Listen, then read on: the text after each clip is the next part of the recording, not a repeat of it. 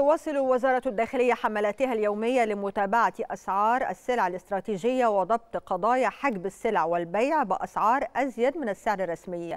هذا وقد تمكنت الوزارة خلال 24 ساعة من ضبط 405 قضايا تموينية بمضبوطات بلغت أكثر من 97 طن مواد غذائية وغير غذائية.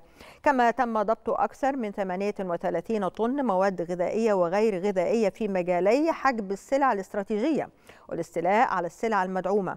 وتم أيضا ضبط قرابة 47 طن في مجال عدم الإعلان عن الأسعار بقصد البيع بأزيد من السعر الرسمي للسلع الغذائية. فيما تم ضبط 12 طن أسمنت في مجال البيع بأزيد من السعر الرسمي لمواد البناء.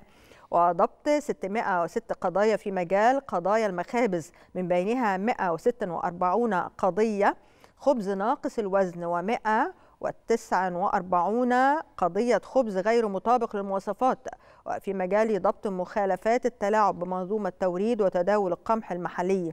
تم ضبط سبع قضايا بمضبوطات بلغت قرابة 22 طن أقماح محلية.